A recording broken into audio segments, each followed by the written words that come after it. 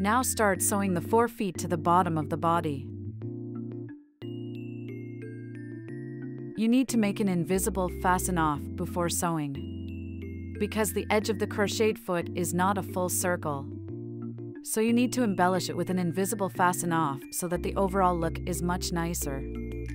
This is also a necessary step for most accessories before sewing. Now start making the invisible fasten off.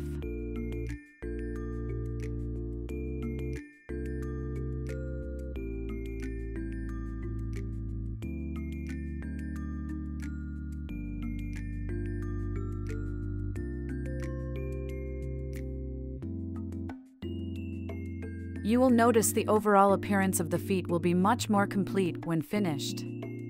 Then using a sewing needle, sew each of the four feet to the right and left sides of the front and back sections. You need to be careful not to sew it crooked.